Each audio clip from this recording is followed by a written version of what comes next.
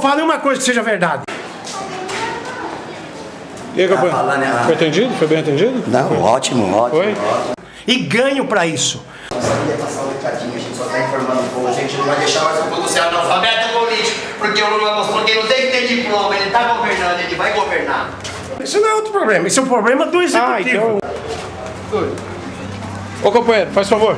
Eu tenho que ir, velho, eu tenho que ir. Faz aí. Vagabundo que não faz porra nenhuma não entra. Mas e aí, o que, que aconteceu? Qual era o seu A Dilma, as mulheres vai assumir agora o comando do país. Você vai ver como é que as mulheres são a mama tanto. Elas sofrem pelos filhos, elas morrem por eles. E tem 60% dos Elas acreditam que eles vão sair, eles saíram da cadeia, malandro. Você fala Zé Vitor. E agora vai governar, é os ladrão que vai governar. Não questionamos isso. Não questionamos isso. Falou que vinha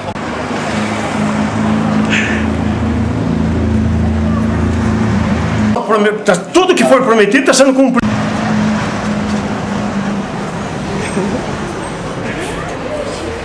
Então vai ficar passar fome.